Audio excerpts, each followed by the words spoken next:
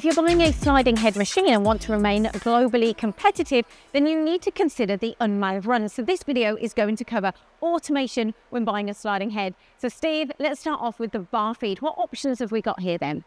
Nowadays, uh, multiple from one meter to six meters, from uh, you know loading a billet to loading bars from a bundle loader where you're making shafts at two meters long. So yeah, it's there's there's, there's a vast variety. Yeah, there is variety. there's a lot of yeah. variety. And then we go into the machine because we need to cover the software then because how does it all work together? Well, you know, the, the first bit is putting the material in. So we've covered that, and then producing the parts. Obviously, cutting tool technology changes all the time. High pressure coolant. Then you've got software. You know, we have Step Cycle Pro, which again enables you to control the swarf to a better degree which gives you more more options for lights out running.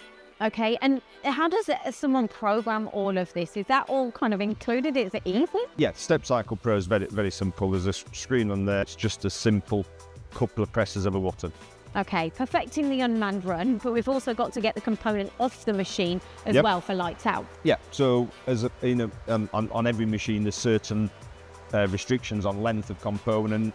So on a 32 millimeter machine, you can inject up to 150 millimeters forward. So that would come through a parts catcher along on a parts conveyor and out into the into a tray. If you're doing longer parts, then we come out through this area here. We have long parts, and we can make long parts injection systems to to to cover whatever you want to do. If you're making shafts 300 mil or you're making shafts two meters long, they, they're bespoke units, but this you know the, the the system of doing it is very straightforward. So there's bespoke, but also standard options. Yeah, I mean, yes, from a conventional sliding head user, there's it's quite simplistic to the most complex engineering challenges. There's a solution from whether it be bar loading, the actual manufacturing, production, and the exiting, so the in-process gauging. There's always a solution.